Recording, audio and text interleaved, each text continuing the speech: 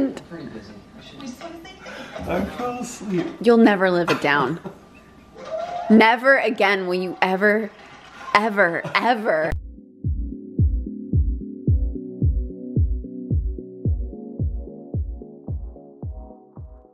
Hello lifers, Clark and I are down at our beach house and we're in the middle of the seven day sugar detox in our community page.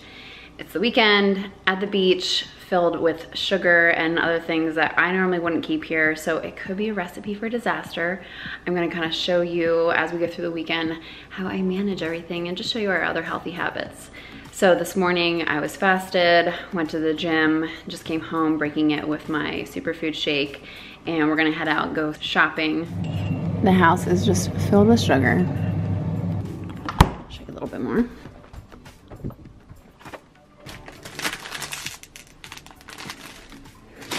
Jolly Ranchers. These apple bars have sugar. We went to the grocery store last night and I picked up these two things to just kind of help crowd out a lesser quality choice. So I love my kombucha. I'm always trying different ones. I like the Cayenne Cleanse. That one's very burny. Just kind of warning you on that one. But there's only four grams of sugar per this whole bottle and I only drink about half. Something that I like to do with kombucha is pour it into a fancy wine glass and that way when Clark's drinking wine, I'm not tempted to have a sip or two. Obviously he's not doing the detox with me. And I also picked up this unsweetened chocolate almond breeze milk and if you look at the um, the macros per a fourth of this, which is more than I would drink, it's 40 calories, three grams of fat, two carbs, zero sugar, and one gram of protein. And this brand is Carrageenan free. So if I do crave something a little sweet, I'll do some of this with stevia. So I told him how we're heading out to go shopping, and I told them how last night I poured the kombucha instead of drinking wine. And something else happened last night, didn't it? What else happened last night on the couch? Do you remember what else happened? I fell asleep. Yeah. Nothing. What else happened? Nothing. You jumped for no reason. Should I show them? Show what? No, it wasn't. I fell asleep. You'll never live it down. Never again will you ever, ever, ever say that you don't fart in front of me. I was not me. That was my sleep. Why don't you tell him what you did? Tell him. Nothing. I fell asleep. Tooted on your head. You tooted on my head. No, this is what happened. We were cuddling on the couch and I had my head resting on his bum and I said, don't fart on me. He said, I won't, I wouldn't do that to you. I said, don't, I don't trust you, don't fart on me. He said, I would never do that.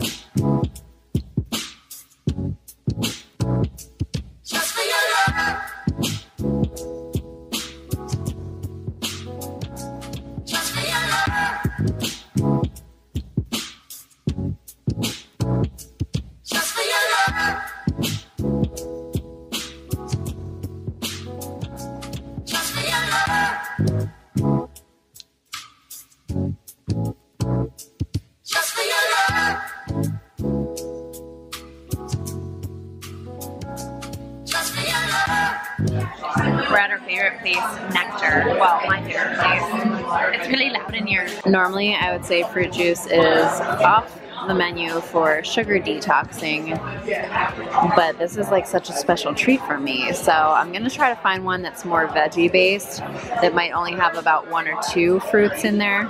The root juice, sweet potato, carrot, beet, ginger. So that's definitely not gonna have much sugar in it.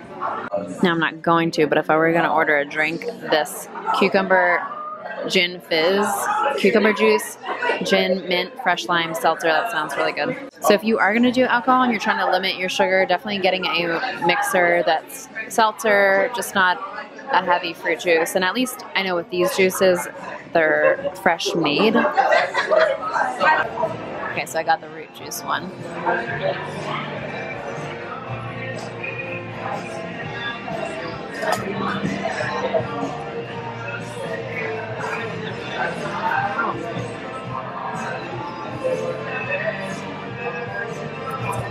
Taste it.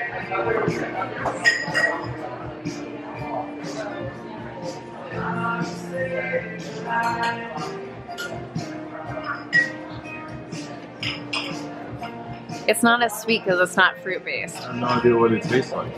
You don't know, remember what it's in it?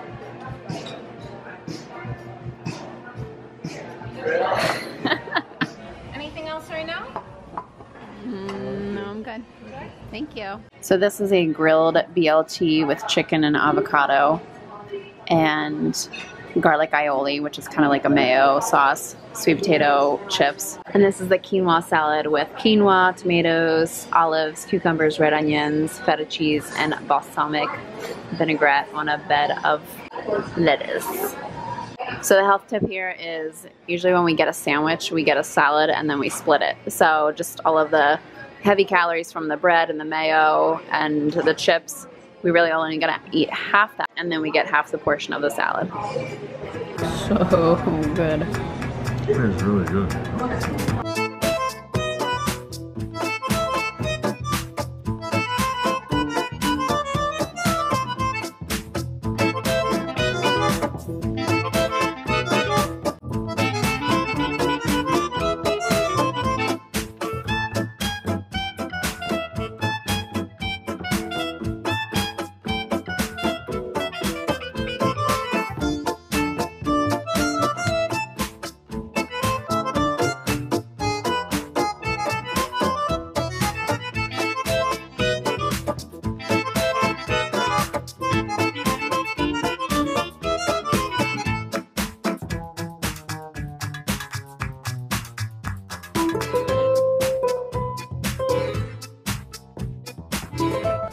Look, it's the shelf you wanted. Look. Look, look, look. I'm in love. Babe, they're like authentic. You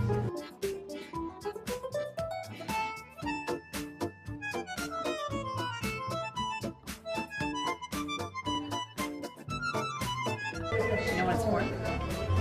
A Vatican crown. Put like a plant in the middle. It would be like a, like a centerpiece. See? Just think.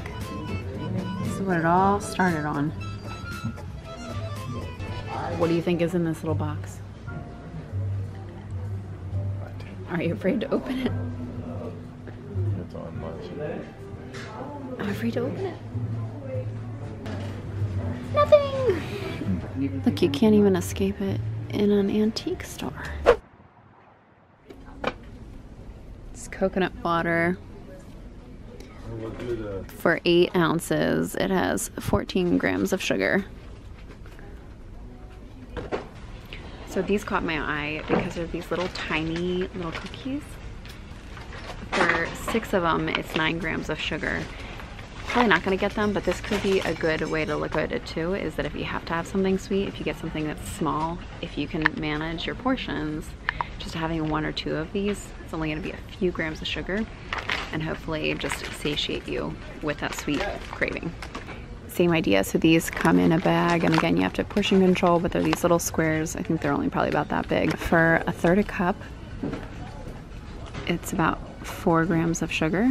So again, if you just have one or two of them to satiate that sweet craving, that's good. Look at the little monkey. He's so cute. Is this a koala? No, it's a panda bear.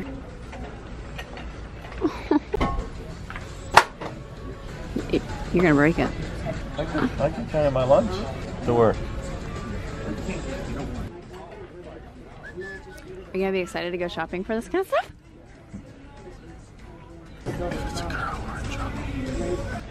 It'll, it'll be a girl. Okay, lifers, Clark made this amazing meatloaf. Good job, babe. and I put the sauce on the side. Looked at the barbecue. I don't know what you guys put on your meatloaf. Comment below. I'd be curious. But this has this main ingredient tomato puree then sugar then orange juice so that's nice that there's like no artificial or even corn syrupy kind of process but there is sugar and when i look at the label it's two tablespoons has eight grams. So per our sugar detox i need to be under that. So i really just did maybe a tablespoon. So i'm probably about four grams of sugar here. Another win is clark has wine and i have water. So we're back home and I know for me, when I used to have crazy sugar cravings, the evening time is usually when it would set in. Now I'm not really having any cravings right now, but it's well after dinner and I could go for a little snack. So I made myself this uh, chocolate rice cake with just a little bit of peanut butter. And again, it's all about having backups. This rice cake you can get in different flavors. And these are nice because they stay fresh for a while. It has four grams of sugar, which again isn't much for a snack. All right, lifers, it's time to head home. Just to kind of recap how this weekend went, overall I think pretty well. I totally wasn't tempted and I have to attribute that to being accountable to you guys and definitely being part of this community. Knowing that I want to put out these videos for you guys definitely holds me accountable. So I want to thank you for that. I definitely appreciated going through this seven day sugar detox because it helped me realize how far I've come since my sugar addiction days back, you know, several years ago. If you would have told me that I would not be addicted to sugar the way that I was, I just wouldn't have believed you. So definitely goes to show you that it is a journey and that it is a process and I have come so far. So if you're struggling with sugar, seriously, it's worth it to stick it out, but it is a journey and it is a process. If I could attribute it to several different things, number one, just flooding my body with the good stuff so that it's not craving, asking for something to make me feel good. Because if I'm fueling my body properly, it's just naturally gonna feel good. Also, finding healthier alternatives just to kind of wean out of that so that you can start to enjoy things that are not so sweet. I remember in nutrition school, they told us that carrots and red onions were a sweet vegetable and I was like ah, I don't know about that. There's no sweet vegetables. And now for me like carrots and hummus are really enjoyable. That's more of a savory snack for me but maybe it sounds weird but I'll just put carrots with a little bit of peanut butter. Weird for some people but if not seriously try it. That's a nice sweet snack for me. Don't get me wrong obviously I like chocolate and all that stuff but a little bit goes a long way to satiate me so I'm just really proud of how far I've come and working on releasing a lot of the patterns and thought processes and and negative things that we hold on to, which is part of the life coaching that I do. You're distracting me. Comment below. I would love to know what, what is your addiction? Is it sugar? Is it alcohol? Is it savory foods? Is it chips? What's your like go-to must-have and I'll definitely do some videos on some healthier alternatives to those. If you like this video, give it a thumbs up. It really supports my channel. Make sure to hit subscribe if you aren't already. I'll see you guys in the next video. Thanks for watching. Goodbye.